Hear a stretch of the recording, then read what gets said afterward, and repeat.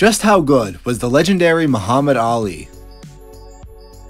He was a legend even in the amateurs. Many people don't even realize he won a gold medal in the 1960 Rome Olympics. And of course he was known for his skills, but he was also known for his good trash talking and just personality. For being a heavyweight, he was very quick, very fast, and probably known as the fastest heavyweight ever.